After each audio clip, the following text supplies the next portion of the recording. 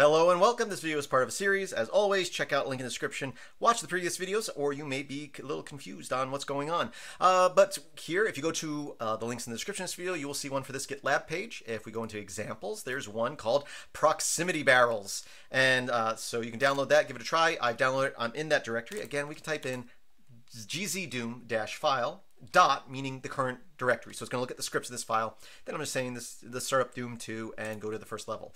What uh, the what we're doing today is what it sounds like. is just barrels that are proximity barrels.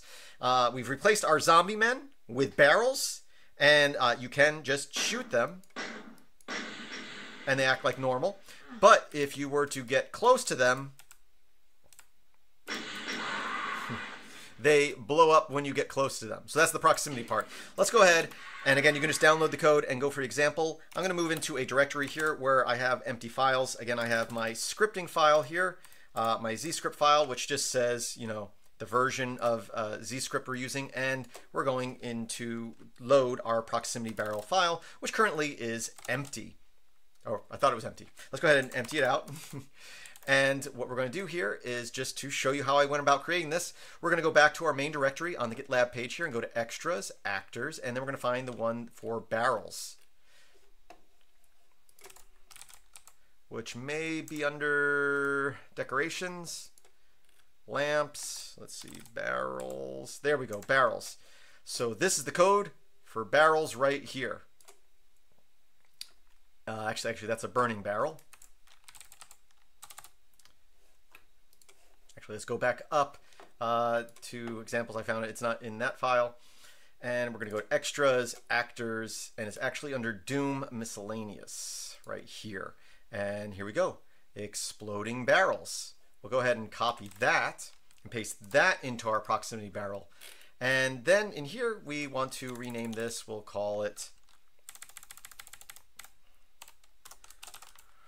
proximity barrel, and we're going to say that it replaces the exploding barrel.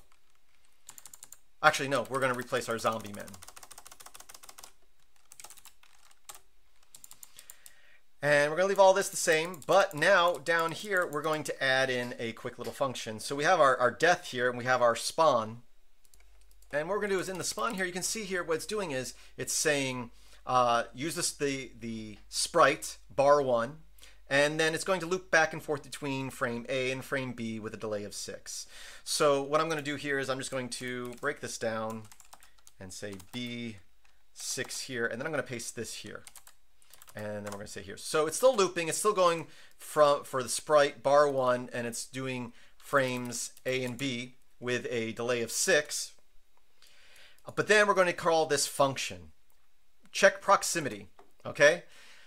And then we're going to say here, okay, we have what what's going to happen when what object gets how close. So here we're saying when a Doom player, when the player gets within 64 units, uh, what are we going to do? Well, we're going to go to the state of death, which is this here. And that's all we have to do. So now the barrel's going to look the same. So again, we replace zombie men. So wherever there are zombie men, there will be zombie. Uh, there will be now be barrels. Any place there was a barrel will still be a regular barrel. So if you want to replace barrels, I'm just doing zombie men because they're right there when we start up Doom 2.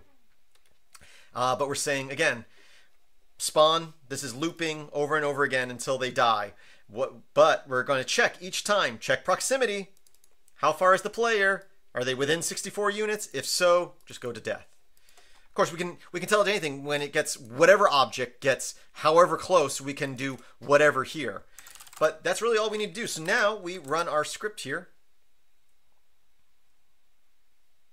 And we're doing this with barrels, but you could make projectiles. Like we did a grenade launcher in the last video. We could do it to where they bounce around and they don't explode unless someone in particular gets close to them.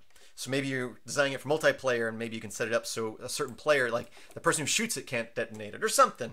But here we go. Boom!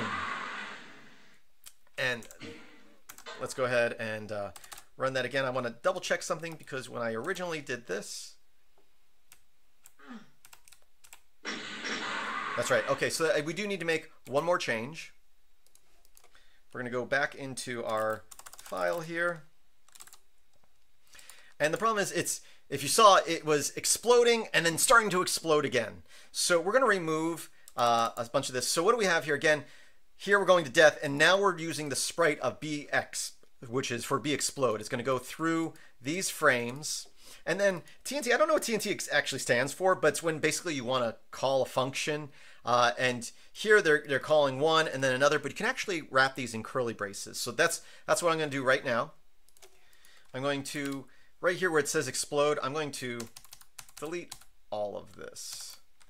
And then I'm going to paste in this code. I could actually get rid of this. So again, we're playing this sprite, this frame, these are the delays. Bright just means in a dark room, light it up. Uh, here, the scream is going to be its its death sound. It's, it's going to be the explosion. Uh, but then here, uh, we are now just saying, okay, TNT, run this uh, with no delay, bright, but we're going to call explode and barrel destroy, which is what was there before, but calling it this way, I believe, will fix our problem of the barrels exploding twice when we walk up to them, or at least the animation playing twice.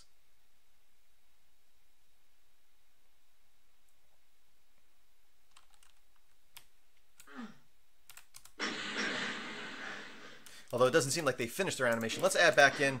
There was another frame there that we did cut out, I believe. Let's go ahead and say, make that D.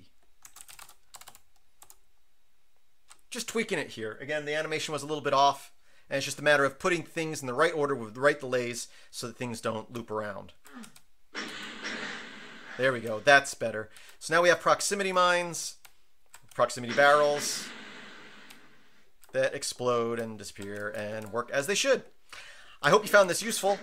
Again, get all the examples here at my GitLab page. This particular example is under examples proximity barrels. So you can look at that. And as always, I thank you for watching and I hope that you have a great day.